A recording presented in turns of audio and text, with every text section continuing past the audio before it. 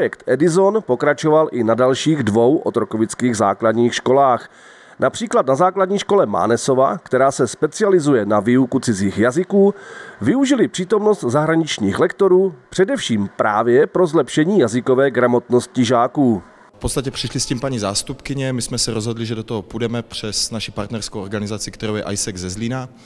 A šlo nám vlastně o to, abychom zprostředkovali dětem nějakou možnost vyzkoušet si mluvit s lidmi, kteří nejsou Češi, jo, aby teda byli nuceni komunikovat v tom cizím jazyce a zároveň, aby si trošinku rozšířili své obzory o světě jako takovém.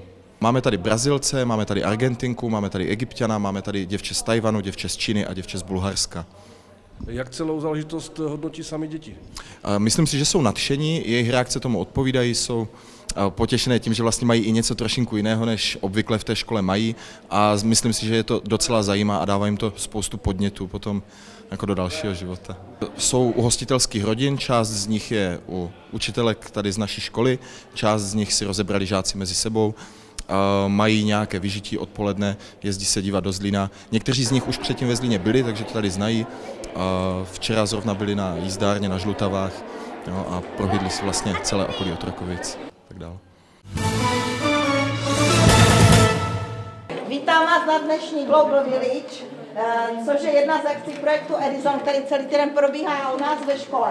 A já nebudu mluvit dlouho, jenom řeknu, že jsme moc rádi, že mezi nás přišla taková skvělá parta lidí. Prosím. Základní škola Trávníky připravila pro zahraniční studenty v rámci projektu Edison gastronomické odpoledne. Odlehčenou a zábavnou formou tak žáci školy mohli komunikovat v cizím jazyce. Právě konverzace s rodilým mluvčím je totiž jedním z nejpřínosnějších způsobů při výuce cizího jazyka. Je to jedna eh, taková jakoby volitelná součást projektu Edison, který probíhá vlastně na všech otrokovických školách a na gymnáziu. No a my jsme si nechtěli nechat ujít, protože si myslíme, že hlavně eh, taky u jídla se národy umí poznat. Co jste přichystali zahraničním studentům? No zahraniční studenty jsme vítali samozřejmě chlebem soli, patří k tomu i med, přichystali jsme typická česká nezdravá jídla, jako jsou klobásky, škvarky, byly tam nějaké kyselé okurky a ve finále teda jsme zvažovali ještě dva rušky, ale jsme nakonec vynechali. A čím vás překvapili oni? Uh, oni nás překvapili tím, jaká, jaká jídla přichystali, takže od větnamské studentky máme připravené jarní závitky, které jsou opravdu ty pravé a měli jsme možnost sledovat jejich přípravu. Uh, od ruské studentky máme připravené palačinky, no a těšíme se taky na brazilské sladké kuličky.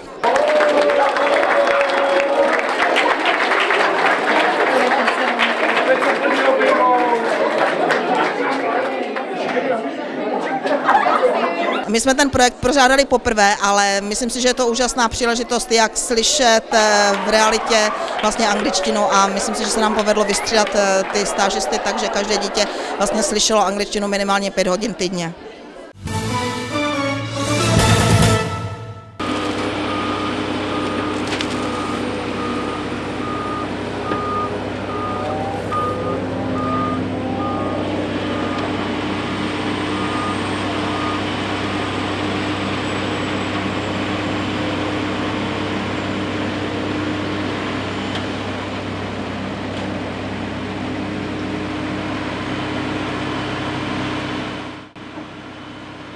Technické služby Otrokovice se mohou píšnit tím, že se chovají ekologicky.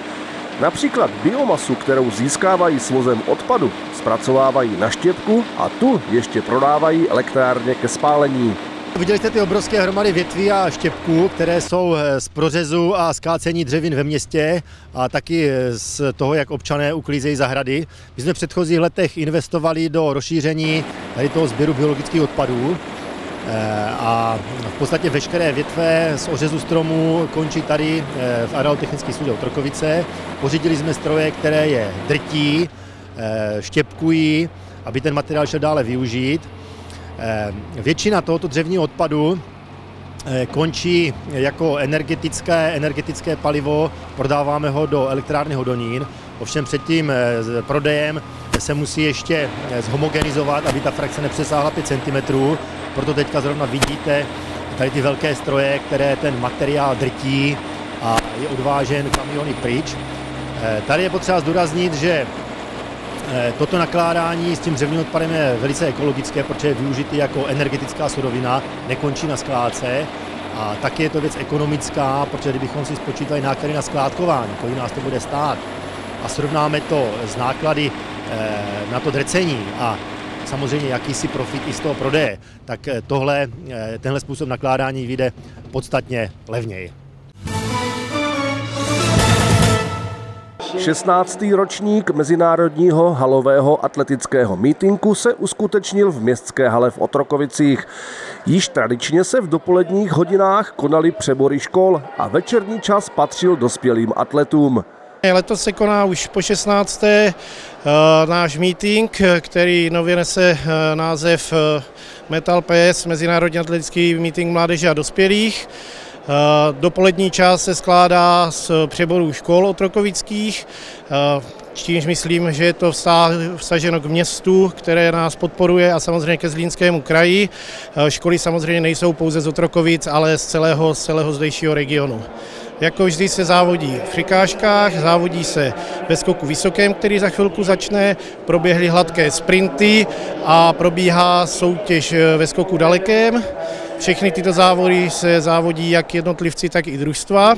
A máme za sebou i vrch koulí staršího žadstva, který letos byl eh, významný tím, že Jedna z hvězd eh, večerní části dospělého mítingu, Bulhár Gregory Ivanov, si v rámci přípravy na halové mistrovství světa do Sopot chtěl vyzkoušet model, kdy ráno je kvalifikace a večer vlastně to, ten finálový závod, takže pro kluky, starší žáky bylo asi obrovským zážitkem být s takovou hvězdou v jednom sektoru, aby viděli, co se opravdu dá dokázat. Já můžu říct, že se večer máme na co těšit, protože vlastně v té svojí jakože kvalifikaci dal zajišťovacím pokusem 1991, což by byl rekord meetingu, ale my samozřejmě čekáme výkon za 20 eh, metrů a ten doufáme, že padne, protože už tady v té kvalifikaci pak měl dva dlouhé hody za 20 metrů, zhruba 2040 a 2060, bohužel s přešlapem. Nicméně věříme, že do večera se srovná a bude to stát opravdu za to, protože i konkurenci jsme mu připravili skvělou. Bulharský koulař nakonec svým výkonem 20 metrů a 33 cm vytvořil nový rekord otrokovického mítinku. Určitě krásná akce, je to akce, která má dlouhou tradici v Otrokovicích. Je to mezinárodní meeting, ve se podstatě eh, mám obrovskou radost, že eh, tato akce také myslí na ty nejmenší. To znamená, eh, je část dne, který, který se věnuje přípravce, to jsou děti, v podstatě ti nejmladší, potom žáci a potom teprve jakoby je ta hlavní část. Já jsem přišel na tu část, kde se vyhodnocovali žáci a žákyně. Eh, můžu říci, že tato akce eh, má, je ojedinělá v rámci jakoby celé Moravy, to znamená ne všude, a respektive jen někde se věnují právě této mládežnické kategorii.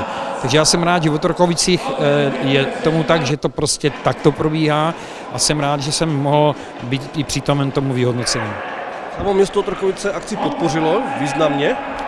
Eh, město podpořilo významně tuto akci. Eh, řekl bych ještě možná informaci, že mám velkou radost, že se podařilo překlenout Eh, ten problém, když hlavní sponzor vlastně odřekl, takže bylo potřeba v relativně krátkém čase sehnat nového a řekl bych, že tento nový ještě, řekl bych, eh, ještě více podpořil tady tuto akci, takže všichni organizátoři a vůbec všichni účastníci jsou velmi spokojení.